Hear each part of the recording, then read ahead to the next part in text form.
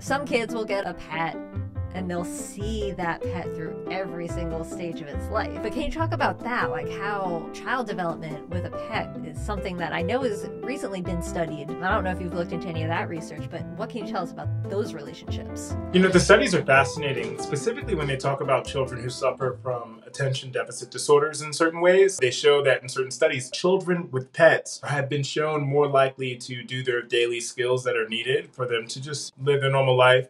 Also, it showed, I think, children suffering from diabetes, type 1 diabetes, that's often a very difficult disease to deal with as a child. Obviously, you're dealing with adult decisions and you don't understand what's going on, and you don't realize the importance of managing your sugar and checking your sugar. And they've shown that children who take care of certain pets are more likely to check their glucose readings so that they can know and better manage their disease at an earlier rate.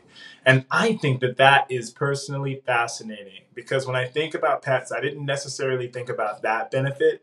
I thought more about how what you said. Pets often teach children about the steps of life and help you to have those difficult conversations, talking about not just death, but also sex. You know, it's often difficult for people and parents at least in my experience when teaching about sexual education when i was a resident it's often difficult for parents to have a conversation with their children.